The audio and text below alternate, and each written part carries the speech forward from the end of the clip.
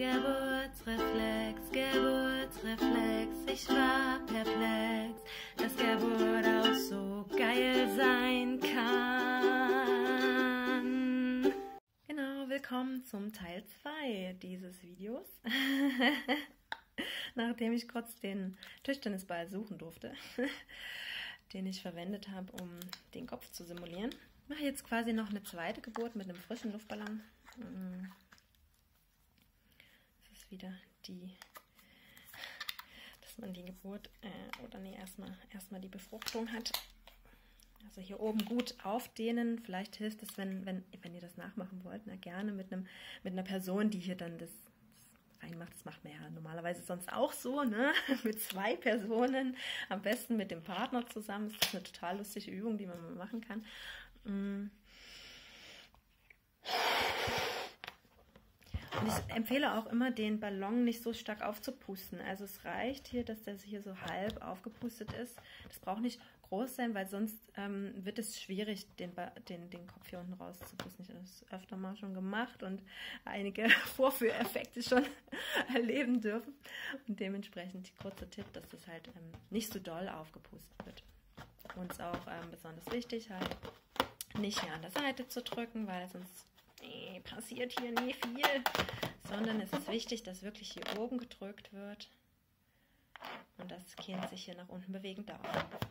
So, wenn, wenn es jetzt dazu kommt, dass die Geburt gestört wird, ähm, dann heißt es, dass da ganz viel im Körper passiert. Also normalerweise das, was diese Kraft hier ausübt, ähm, kann man so sagen, ist unser sympathisches Nervensystem. Also wir haben ein autonomes Nervensystem, was in uns drin ist, was bestimmte Prozesse steuert. Zum Beispiel kannst du dich ja mal fragen, ob du mal aktiv darüber nachgedacht hast, äh, deine Verdauung zu bedienen. Das macht dein autonomes Nervensystem für dich. Und das macht es umso besser, wenn es entsprechend nicht gestört wird und äh, sich ruhig fühlen kann. Also wir können, haben das ja selber schon mal erlebt.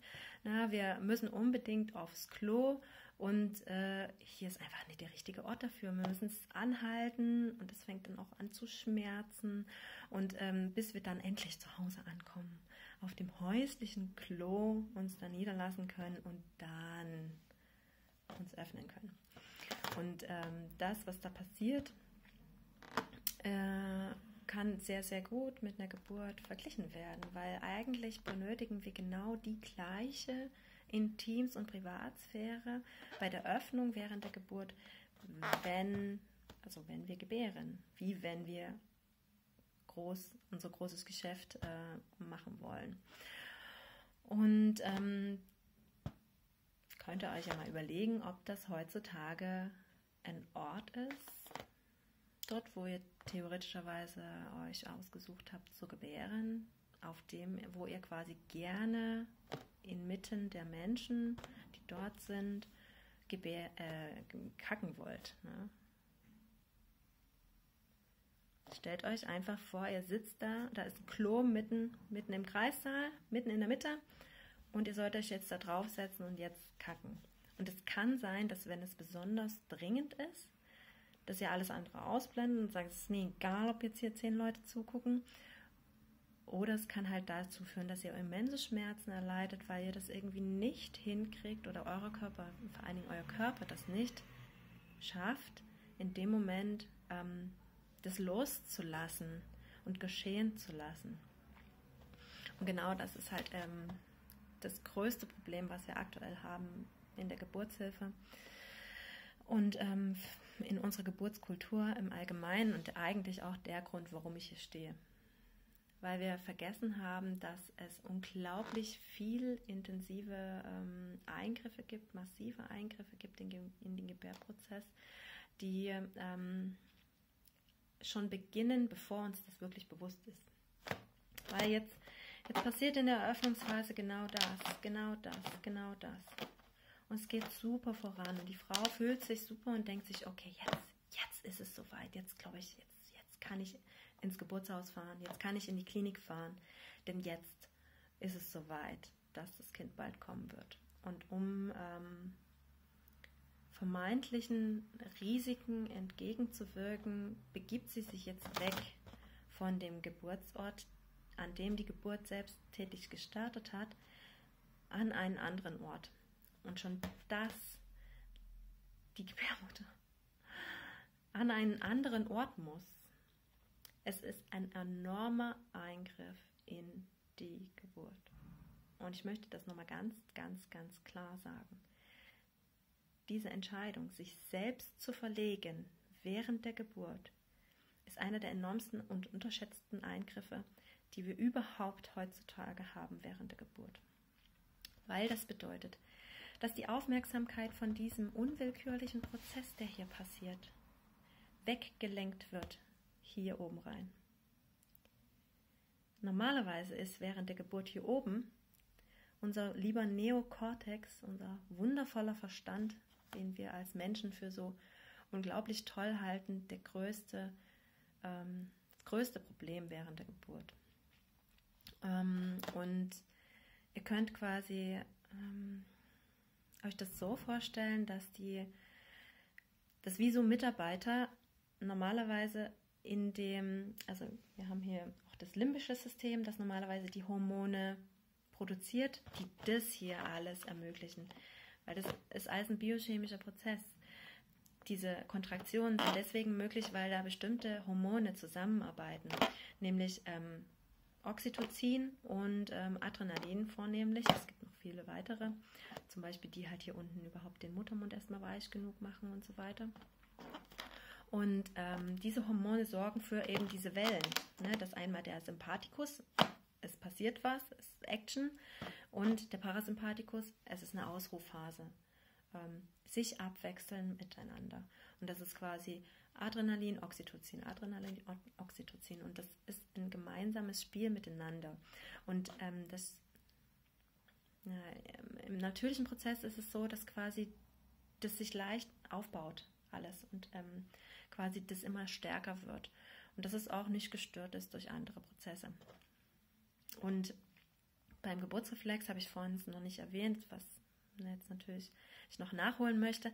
Beim Geburtsreflex ist es so, dass ähm, ein riesiger, also vorher ist das Adrenalinlevel sehr, sehr, sehr, sehr niedrig und dann pusht das Adrenalinlevel so hoch und dann springt es wie auf so eine Wippe drauf, bam, und dann haut das Oxytocin auch so unglaublich hoch und ähm, das steigt dann wieder runter und das sorgt dafür, dass dann so starke Kontraktionen in diesem Ballon passieren, wie wir vor uns gesehen haben, die von selbst das Kind rauskatapultieren.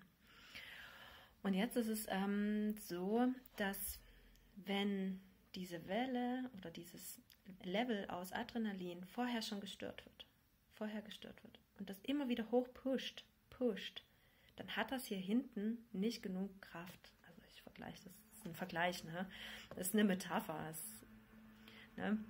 Auf jeden Fall ist das so, dass, dass dann das Adrenalin nur noch so halb hoch kommt. Und dann kommt auch nur das Oxytocin nur so halb hoch. Und dann sind die Wellen nicht stark genug.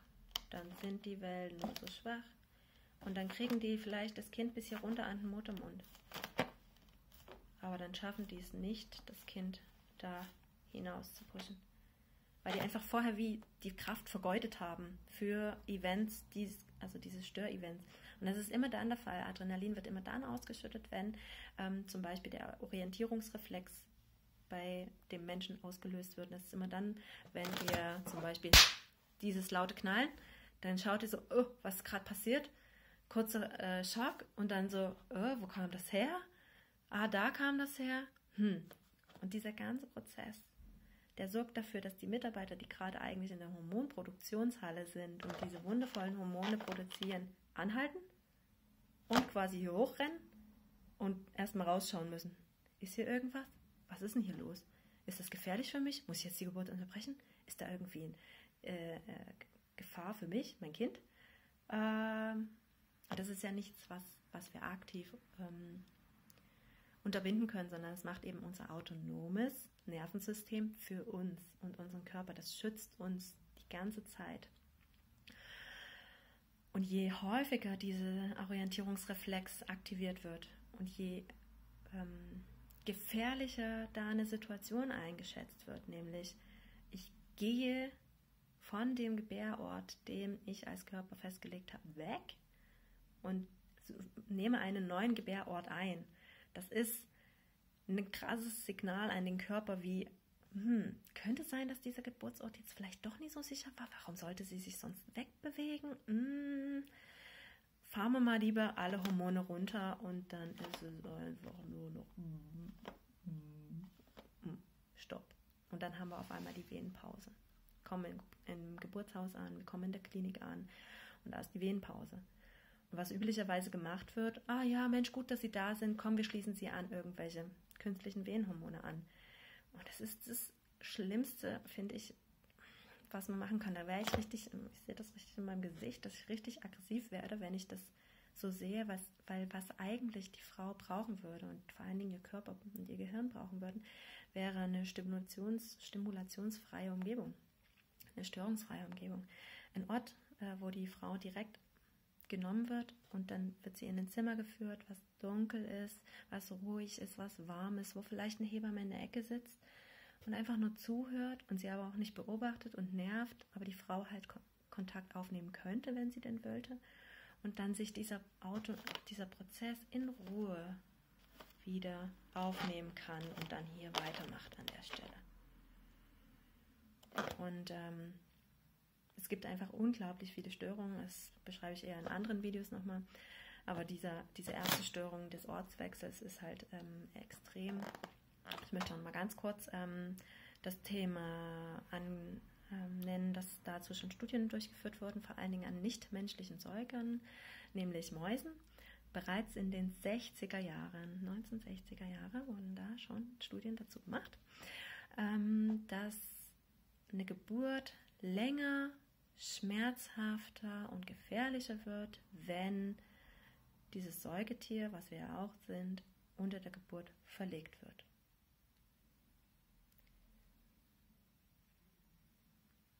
Und das wird nochmal verstärkt, wenn, wenn der Ort vorher ein vom Körper sicher eingeschätzter Ort ist, ein vertrauter Ort ist und es einen unsicheren, unbekannten, fremden Ort, der vielleicht auch noch komisch riecht und mit, mit ähm, Assoziationen verknüpft ist, die eher Krankheit und so weiter bedeuten.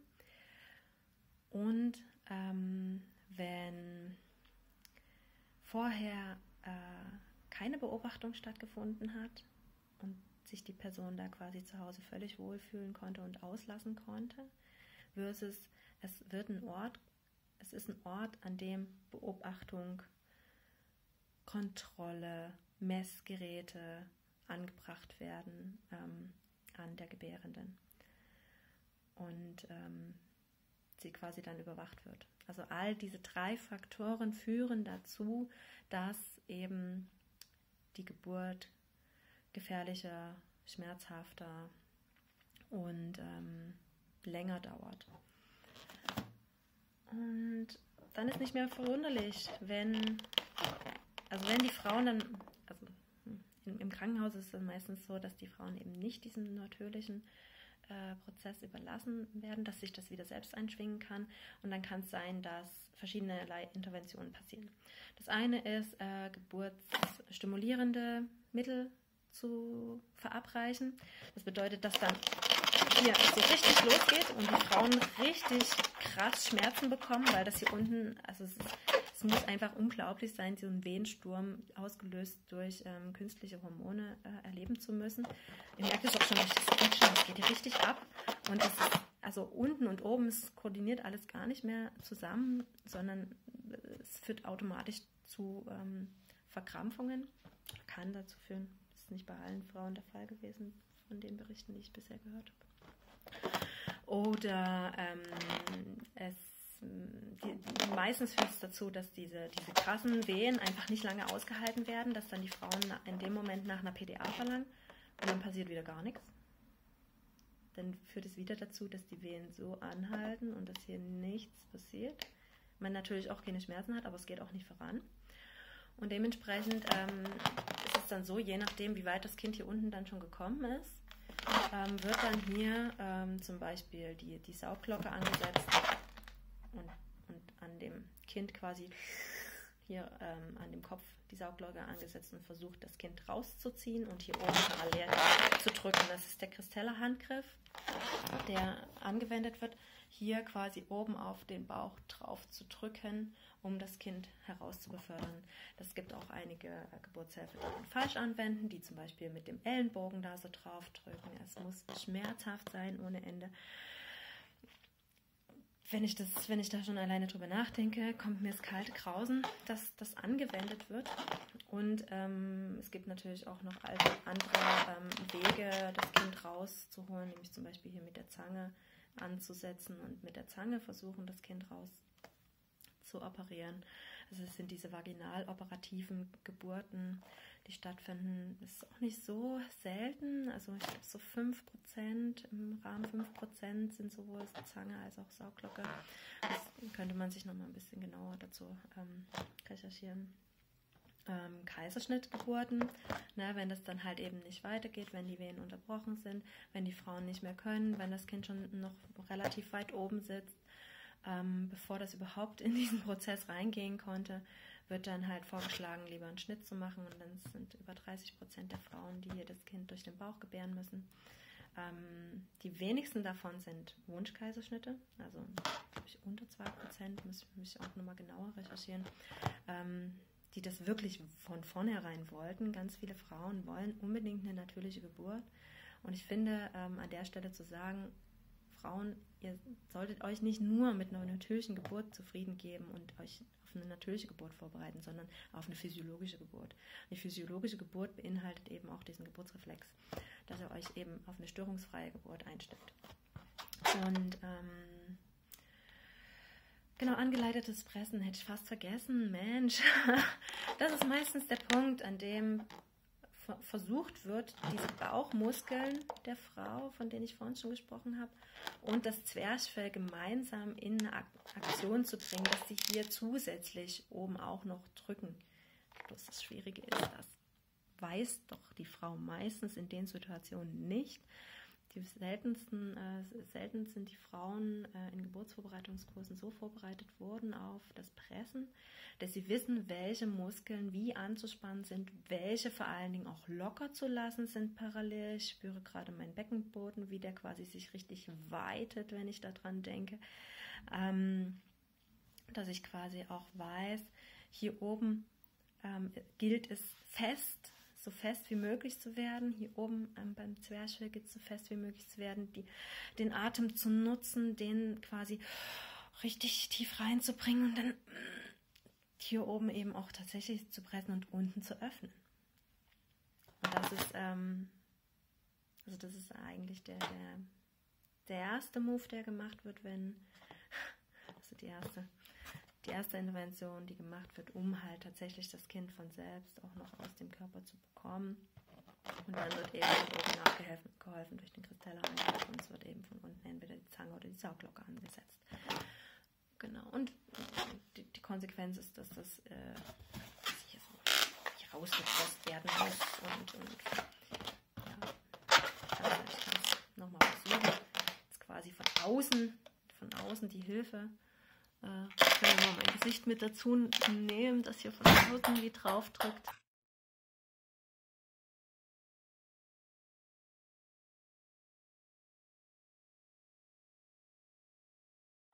Und damit sieht man, dass es auch möglich ist, eine Geburt vaginal äh, zu beenden.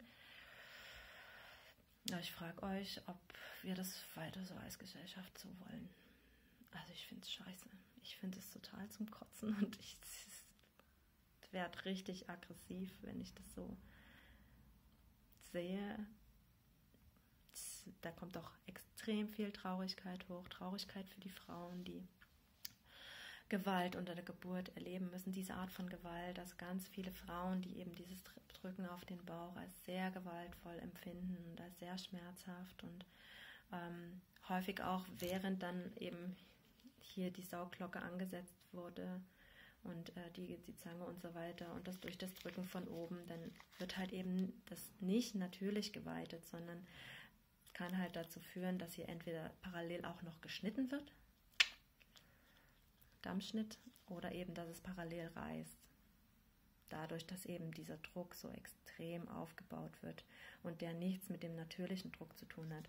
Und dann, wenn man dann auch noch bedenkt, dass die Frauen häufig in diesen Situationen, damit der Geburtshelfer die jeweiligen hm, Instrumente verwenden kann, in der denkbar ungünstigsten Position sitzt, nämlich in dieser Liegeposition, wo die Gebärmutter nach oben muss, wo die Frauen gegen die Schwerkraft anschieben müssen, dann ist es halt klar, dass das alles nie so funktioniert, wie ähm, die Mutter Natur sich das eigentlich vorgestellt hat. Also es gibt unglaublich viele Möglichkeiten, ähm, da anders vorzugehen. Also zum Beispiel in so einer späten Phase, wo es schon schwierig ist, dann sollte es noch viel wichtiger sein, die Gebärende in eine aufrechte Geburtsposition zu bringen, was häufig dazu in der Vergangenheit geführt hat, dass die Geburt vaginal stattfinden konnte, ohne dass von außen gedrückt werden musste. Ne, also eine aufrechte Geburtsposition einnehmen und Ansonsten kann ich einfach nur alle Frauen dazu ermuntern und einladen, sich mit dem Geburtsreflex auseinanderzusetzen, alles Mögliche an Wissen sich äh, anzueignen, zu dem im Fachjargon genannten Fötus-Ausscheidereflex oder Fötus-Auswurfreflex. Im Englischen gibt es da einiges mehr Literatur dazu, auch online.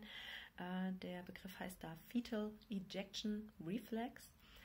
Ihr merkt, warum ich das in Geburtsreflex umgetauft habe, weil der Name ist einfach. Sorry, aber ja, yeah, ich will unbedingt einen Fötus-Ausscheidreflex erleben. Nee, eher nicht so. Meistens führt das eher dazu, dass man denkt so, äh, nee, sowas will ich nicht haben. Mhm, Geburtsreflex, ich denke, das klingt ganz gut. Und es ist auch, ist ja auch das. Und das Spannende ist, dass wir äh, eben nicht nur diesen Geburtsreflex haben, sondern dass es eher eine Kette an Reflexen ist und dass die nicht nur bei der Mutter auftritt, sondern dass sie eigentlich auch beim Kind auftritt. Also wir haben jetzt quasi das Kind als statischen Kopf, als statischen Tischtennisball angenommen. Aber ähm, bei der Geburt passiert ja noch so viel mehr. Also bei der Geburt ist ja nicht nur der Kopf, der da ähm, sich durch ähm, das Becken bewegt, sondern tatsächlich das Kind macht ja extrem viel mit. Das ist eine Teamleistung, diese Geburt. Das heißt, es schiebt sich mit seinen Füßen von der Gebärmutterwand äh, ab und drückt sich auch von selbst noch mit raus.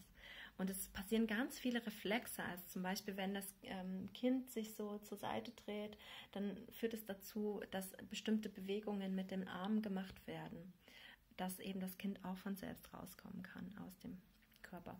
Und außerdem haben wir jetzt nur betrachtet, wie eben diese Gebärmutter und der Kopf rausgehen. Und dann hier drumherum ist ja aber noch die äh, Vagina. Ne, der Muttermund reicht ja in die Vagina hinein und dann ähm, passiert halt hier dieser, oh, diese Öffnung der Vagina. Ne? Also wir haben jetzt hier den, den Kanal passiert den, den Muttermund, der ist passiert. Und jetzt kommt ja aber noch der Ring of Fire. Ne? Also hier die maximale Weitung der, der Vagina. Das kommt ja dann auch noch. Und da gibt es auch ähm, Momente, wo sich Frauen eben, ja, wo es wichtig ist, an den Stellen locker zu lassen. Und ähm, da gibt es auch ganz viele tolle Möglichkeiten, da an der Stelle zu üben, da äh, die richtigen Muskeln so locker zu lassen, dass nämlich auch wenn hier quasi das Kind rausgeschossen kommt, was ja nicht so krass ist, zum Glück, ist ja nur eine Metapher. Ähm, aber ja gut, fühlt sich manchmal, bei mir hat sich ähnlich angefühlt, also zumindest so kraftvoll, wie der Körper das quasi das Kind von selbst auswirft. Und dass ich eben hier unten locker lassen konnte, hat mir sehr geholfen, eben diese letzte Phase der Geburt schnell ähm, zu ähm, über gehen. Ja. Das aber, wie man da äh, was tun kann, in einem anderen Video. Ich hoffe, ihr habt einen guten Einblick bekommen. Ich möchte noch kurz auflösen meine Fragen vom Anfang. Die Frage von wegen, ähm, wie ist das mit dem Muttermund? Äh, weitet der sich äh, jeden, jede Stunde ein Zentimeter. Ich hoffe, das ist irgendwie klar geworden. Ihr könnt auch nochmal das Video zurückspulen, um dort zu sehen, dass quasi dieser Gebärmutterhals sehr lang ist und dass quasi am Anfang der Geburt, in der Eröffnungsphase, man nennt es im, beim Geburtsreflex auch die Erektionsphase, äh, ganz allmählich hier das erst geweitet wird und dann beginnt quasi teilweise sogar plötzlich sich der Muttermund zu öffnen und zu weiten. Und es kann innerhalb von 20 Minuten der Muttermund so, also von kaum geöffnet zu voll geöffnet, passieren. So viel erstmal dazu. Und ähm, dementsprechend ist es ein Mythos. Und ich hoffe, euch hat äh, das äh, gezeigt, wie, warum das ein Mythos ist. Guckt es euch gerne nochmal an. Mm, und das zweite Thema war das Thema Frau fällt ins Koma, ist schwanger und fällt ins Koma und gebärt dann ihr Kind. Auf welche Weise? Die meisten würden sich dann wahrscheinlich denken, es wird per Kaiserschnitt geholt und es ist auch im häufigsten Fall so, dass viele Ärzte dem Gebärprozess nicht vertrauen und tatsächlich dieses, diese Kinder, ähm, die von Koma-Patientinnen geboren wurden, per Kaiserschnitt holen. Aber es gibt tatsächlich zwei Fälle, in denen ähm, dieser Geburtsreflex tatsächlich passiert ist. Und das zeigt nochmal, wie krass der Körper ohne unseren Verstand und wie viel besser eigentlich auch ohne unseren Verstand gebären könnte, wenn wir ihn denn lassen würden. Nämlich, ähm, das eine war eine Frau, die in einem Krankenhaus lag und durch ihr lautes Stöhnen einen Pfleger herbeirief, der merkte, die Frau ist in den Wehen die ist schon so weit, dass das Kind quasi schon gleich kommt und hat er quasi ähm, nur noch beim Auffangen geholfen. Und das zeigt auch, wie unwillkürlich die ähm, Laute sind, die wir Frauen machen, während wir gebären. Die Frau war im Koma. Also sie hatte kein Bewusstsein, aber ihr Mund hat Laute getönt, so ah, ah oh, ja, sowas. Unwillkürlich. Das ist echt abgefahren, davon zu wissen, finde ich. Und das zweite, ähm, zweite Mal, dass so eine Geburt passiert ist, war eine Frau, die einen, ähm, einen epileptischen Anfall hatte, Zwillinge in ihrem Bauch hatte. Und der Mann ähm, kommt nach Hause, öffnet die Tür und sieht seine Frau auf dem Boden liegen und daneben die beiden Zwillinge geboren. Also die Frau war ohnmächtig durch den epileptischen Anfall und der Körper hat von selbst beide Kinder geboren. Und erst im Nachhinein ist quasi die Frau verlegt worden und die Kinder versorgt worden und ist quasi alles in Ordnung gewesen mit denen. Ähm, und es zeigt diesen krassen Reflex, den wir in uns drin haben der automatisch unsere Kinder gebären, also wo die Gebärmutter, und deswegen habt ihr jetzt quasi eigentlich auch nur Gebärmutter und Kind, Kindskopf gesehen. Die Frau braucht es an sich nicht. Ja, wir brauchen nichts machen. Wir brauchen tatsächlich uns dem hingeben.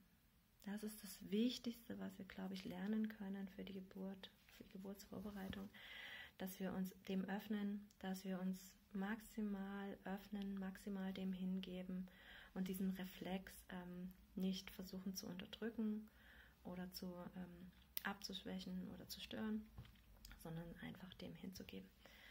Und dann werden wir sicherlich ähm, einige schönere, geilere Geburten, würdevollere Geburten, friedlichere Geburten erleben können. Und das wünsche ich jeder Frau auf dieser Welt und damit schließe ich heute dieses Video. und ich hoffe, es hat euch gefallen. Hm, bis später. Tschüss. Eure Luise von Geburtsreflex.de.